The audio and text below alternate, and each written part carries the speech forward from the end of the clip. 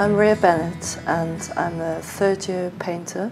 Initially I started full time and then went part time because I'm a single parent now and they were very supportive in the transition and they're very like um, flexible with hours so you can do school hours or if you've got a job or something like that. The fine art painting course allows you to be as free as you want it to be. You can take full advantage of each department. You get a lot of workshops in the first year and the second year and they really influence you by the time you get to your third year then you know where you are or you should know where you are and then like doing a workshop every week is so important to your own skill for drawing and observation.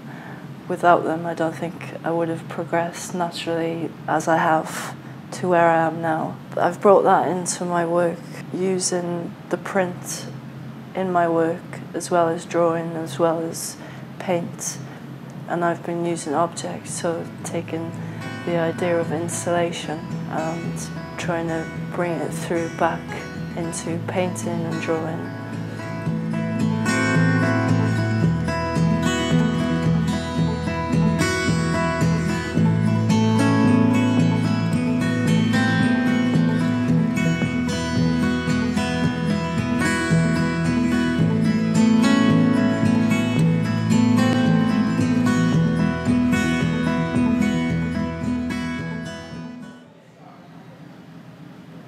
You get a lot of tutorials, which is good. You get a personal relationship between the end of the course, which is great because you have you know you can go to your tutors and they're there for you.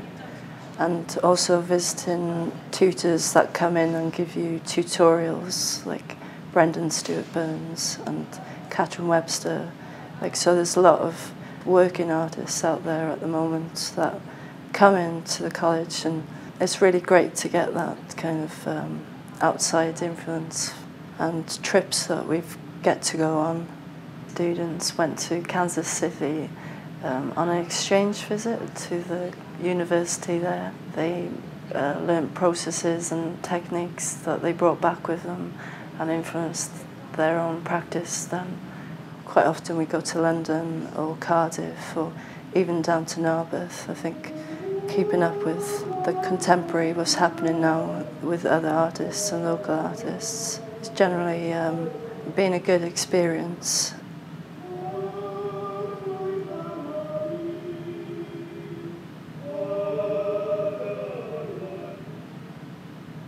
With the dissertation also that influences your practice and you get support and help with that also, like tutorials every week give you that guidance and stability. You become confident and know what your work is about and you practice like talking about your work in group crits where we each discuss each other's works.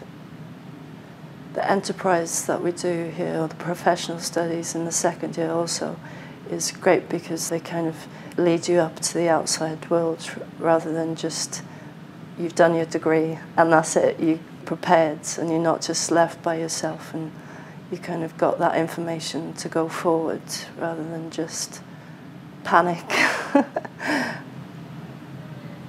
Coming to the final show is a case of bringing it all together. It's quite exciting. You're kind of preparing your exhibition work as such and still taking the processes forward and your ideas and concepts. There's a lot of um, support locally as well with local galleries and because then they come into the end of your show and they're quite willing to um, support us also, which is great because then you've got a foot in the door to your professional practice yourself and yeah, know that you have that support before you leave the college.